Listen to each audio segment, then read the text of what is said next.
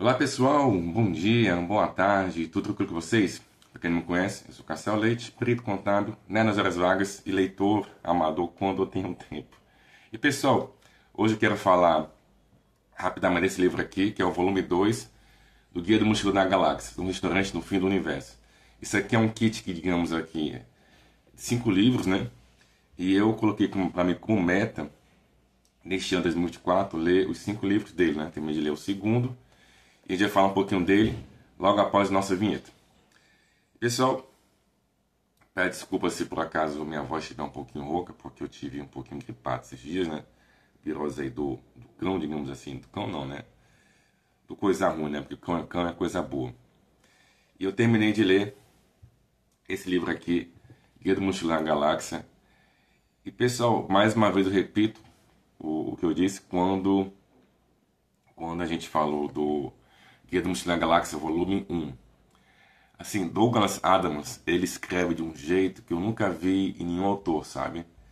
Que é uma leitura que te prende e é engraçada. E esse livro aqui eu achei mais engraçado que o primeiro. E é um livro com certeza, para quem não tem o hábito de ler, ou realmente não tem lá esse gosto por leitura, né? Com toda certeza vai gostar de ler Guia do Mochileiro Galáxia. Também eu acho que é um bom livro para a pessoa incentivar o filho, a filha, né? Naquela fase já em que ela já está começando a ler, né? A criar o gosto pela leitura, porque ruim é mal for pensar bem, tudo é via internet, celular, né? Está muito preso a nossos smartphones, né? E, às vezes você lê um pouquinho, você criar esse hábito de, de, de ler, é você também criar um hábito saudável, né? E você também fugir um pouquinho da realidade e relaxar, né? Nesse livro aqui, que é do Mochileiro Galáxia, volume 2, a gente acompanha nossos quatro protagonistas, né? Arthur Dente, o Fox, o Bill Box e a trilha, né? Só que nesse caso aqui eles estão fugindo ah, do, digamos assim, do Comitê Intergaláctico. E um restaurante no fim do universo faz alusão a, um restaurante que literalmente ele fica no último ponto conhecido do universo, né? Onde ali o tempo e a realidade se misturam. Você não só viaja mais pelo universo, você passa a viajar pelo tempo. E é interessante como ele descreve isso, porque ali nesse restaurante que ele fica no fim do universo, onde ali está constantemente ocorrendo o Big Bang, né, segundo a teoria quântica. Você vê como que esse livro é inteligente, segundo a teoria quântica, o, o, o universo. Ele é um ciclo, né? E, naquele, e, da, e daquele ponto ali, aquela teoria do universo, você pode ser jogado para qualquer lugar. Aqui a gente, a gente vê a nossa, a nossa nave ainda, a coração de ouro, com seu motor de probabilidade infinita. E, e, o, e qual o foco desse livro aqui? Nesse livro aqui, nosso, nosso grupo né, acaba se separando. Né? Bill Box e a Trillian acabam ficando em um lugar e Fox Dent e a, a, Fox e Arthur Dent acabam indo para outro lugar. A gente vê aqui também o Bill Box é, reencontrando seus, seus, seus, seus antepassados, né? nessa fuga, o ponto interessante desse livro, Arthur Dent e Fox, ele acaba caindo na, na Terra, digamos assim, na Terra pré-histórica, né? Na Terra como que era 2 milhões de anos antes do surgimento do Homo sapiens. E você, eu vou ler aqui para vocês verem o quanto, como a linguagem empregada nesse livro é engraçada. Logo isso, isso logo no primeiro, no primeiro capítulo.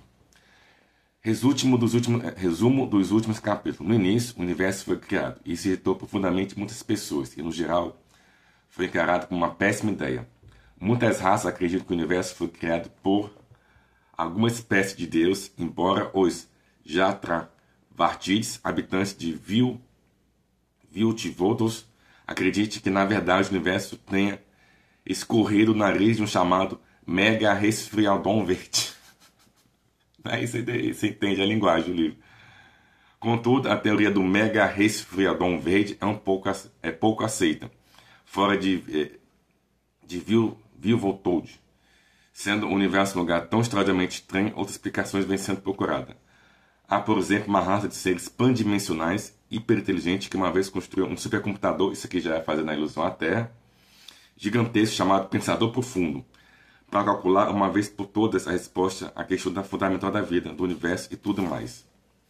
O pensador profundo computou e calculou durante 7 milhões e meio de anos, que foi a idade da Terra até ela ser destruída pelos, pelos Vogons. E no final, anunciou a resposta de, de fato, 42. E é legal que é, a, ok, a resposta para a equação da vida é 42, mas o que é que eu faço com a resposta? Não, é uma outra pergunta que você tem que fazer. Assim, outro computador ainda maior teve que ser construído para descobrir qual era exatamente a pergunta. Esse computador, que foi chamado de Terra, era tão grande que frequentemente era confundido com o planeta, principalmente pelos estranhos seres simiescos que é, preambulavam pela sua superfície, completando completamente a lei ao fato de que eram apenas parte do gigantesco programa de computadores, chamado, se referindo a nós, os símios, né?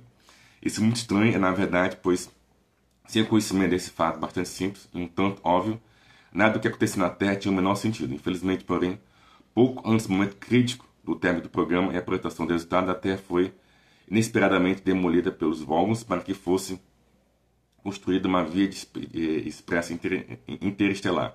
Pelo, pelo menos foi o que eles alegam. Sendo assim, qualquer esperança de descobrir o sentido para a vida perdeu-se para o todo sempre, ou quase. Duas espécies estranhas, criaturas simiamescas sobreviveram. Arthur Dente escapou por um último minuto, porque seu, seu, seu velho amigo Ford Perfect, eu falei for, é, é, Ford Dente, Ford Perfect, subitamente declarou vir, vir de um pequeno planeta chamado Betelgeuse, e, e, e, não de Gideon Ford, como até então havia alegado. Não apenas isso também sabia pegar carona nos discos voadores. Tricia Mickler, ou Trillian, tinha dado fora do planeta seis meses antes com Zapot Billbox, que nessa época ainda era presidente da galáxia. Dois sobreviventes, dois sobreviventes do planeta Terra. Só que e só o que resta da maior experiência realizada para, para a vida deles, descobrir a, a questão fundamental e a resposta final sobre a vida e o universo e tudo mais. Em meia profunda escuridão do espaço, a nave espacial onde se encontra Zampont e Fortrina e Arthur se move calmamente, a menos de, a menos de meio milhão de quilômetros dali, uma nave Vox se desloca inexoravelmente em sua direção. Então esse aqui é o primeiro capítulo. Eles vão parar nesse restaurante no fim do universo, nessa fuga dos Vogons, e nesse restaurante, né, foi no universo, ele é constantemente destruído devido ao Big Bang, né?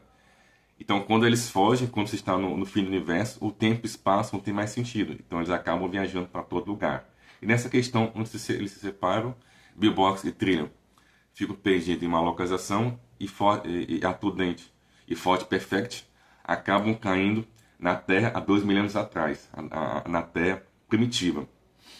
E é interessante que antes de cair na Terra primitiva, eles acidentalmente acabam caindo, né, sendo teletransportados para uma nave, uma nave hiperespacial, com pessoas que eu vou dizer assim, que o planeta natal deles é, exilou, né?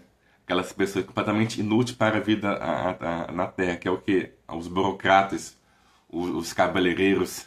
E essas pessoas são, são também o que acabam caindo na terra primitiva junto com Arthur Dente e, e, e Forte Perfect. Tem uma passagem aqui que mostra bem assim como que, como que o, o, o Douglas Adams ele, ele,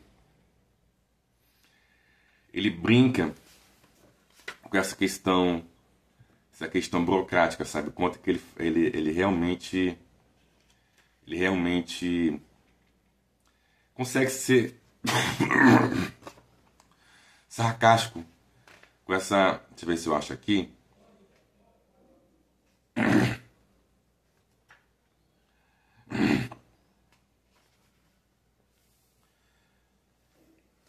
Pessoal está na. É, é, tá aqui, ó. Esse capítulo aqui, ó. Um pequeno grupo de pessoas tinha se reunido em torno do, em torno do capitão, que é aquele pessoal da, da nave onde eles caíram acidentalmente e nisso pousaram na Terra há dois milhões de anos atrás. Um pequeno grupo de pessoas tinha se reunido em torno do capitão. Um deles estava claramente se parando para falar. Fez isso ficando pé na garganta, então olhando para longe como se quisesse dizer a multidão que estava de volta ao minuto. A multidão naturalmente estava atenta e voltou para os para eles. Seguiu-se um momento de silêncio que Ford jogou-se exatamente dramático para, para fazer sua entrada. O homem virou-se para falar. Ford pulou da árvore e disse: Oi, pessoal. O capitão girou para seu lado. Ah, meu caro rapaz, disse o capitão. Tem fósforo com você? Ou isqueiro, ou algo do gênero? Não, disse Ford, suando como se estivesse um pouco esvaziado. Não estava parado para, para decidir o que era melhor ser mais enfático no assunto. Não, não tenho. Prosseguiu, nenhum fósforo veio de estar notícia. Que pentes, capitão. Estamos, na, estamos todos sem as semanas que não tomam um, um, banho quente. Ford recusou-se de ver a assunto. Traga notícia, de, disse, de uma descoberta que poderia interessá-lo. Isso está na pauta? Perguntou asperamente o homem, um homem que Ford tinha interrompido. Ford abriu um lago suíço e fala sério. Muito bem, lamento, disse o homem com arrogância. Mas como consultor executivo com muitos anos de experiência, devo insistir, devo insistir na importância de se observar a estrutura do comitê.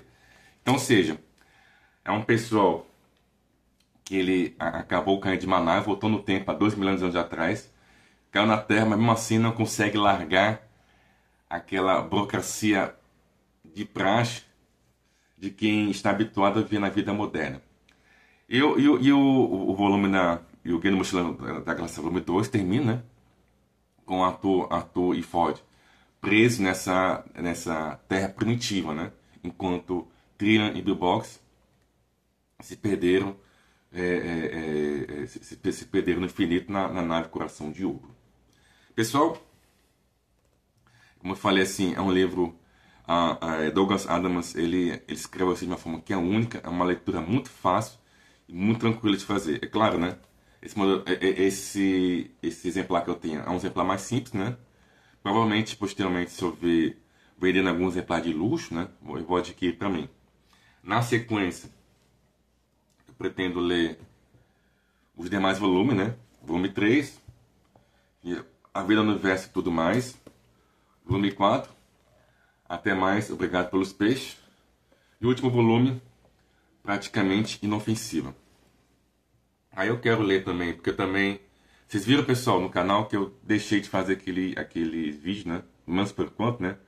Leads do mês, né? E leitura para é, leitura para o próximo mês. Porque realmente não tenho tido tempo, sabe? Esse, esse ano 2024 é um ano que eu nem tô vendo passar. E fora isso, é, também haver desgosto com o YouTube, né? E também a, a crise de ansiedade que me atacou, atacou esses últimos meses, fora outras coisas, né? Então, não tenho conseguido alinhar essas leituras mensais. Aí, na sequência, depois que começa aqui, eu quero ver... Vou ler pela primeira vez um livro de Enéa Tavares, né? Daqui da, da Caveira, O Panteão Místico, né? Eu acho que já fiz um, já apresentei esse livro para vocês. Acho que não tem muito o que falar da, do livro em si, né? A, a Dark Side sempre capricha muito nos exemplares que ela publica, né? Aí na sequência, na sequência ainda pretendo, pretendo ler esse aqui, A Casa do Mar, Mar. Talvez leia esse primeiro, depois, talvez leia, leia esse primeiro depois esse, né? que A Casa do Mar ele é uma fantasia, né? De um autor americano, que eu não, não li nada dele, que é o T.J. Clooney. Só, é muito bem recomendado no, no, TikTok, né? Eu só não achei, gostei muito da diagramação. Achei um pouquinho pequena as letras, sabe? Mas é um livro de capa dura, um livro bem bonito também. Para finalizar isso até o final do ano, é a minha meta ainda, né? Ler Beren e Luther, né? de J.R. Tolkien, dos Anéis, que esse B.R. Luther, ele, ele é uma história que se passa bem antes, né, dos eventos da, dos Anéis mesmo, dos Anéis de, dos Anéis de Poder, e a Cena Lupin. Se tiver, se, se der tempo ainda, ainda ao decorrer desse ano, ainda quero ler o, o, o esse outro aqui, que é o Paraíso Perdido, e a sequência dele, que é a Cena Lupin é que faz o crossover com, com Sherlock Holmes, né? Que eu não sei como é que mostrar pra vocês. Pessoal, esse foi o vídeo de hoje. Espero que tenham gostado. Se você gosta muito de literatura aí, esqueça de curtir, comentar e compartilhar esse vídeo. Isso ajuda muito o canal, já que o YouTube tem no céu botar literalmente, né? Se você quiser ajudar esse canal com qualquer valor Pix, é muito bem-vindo, já que ele não é monetizado e, eu sinceramente não, não, acho que não vou conseguir monetizar nem tão cedo. Mas a gente, também, a gente faz porque também a gente gosta também de, de fazer e compartilhar essas nossas experiências com vocês. Um abraço a todos, pessoal, e até o próximo vídeo.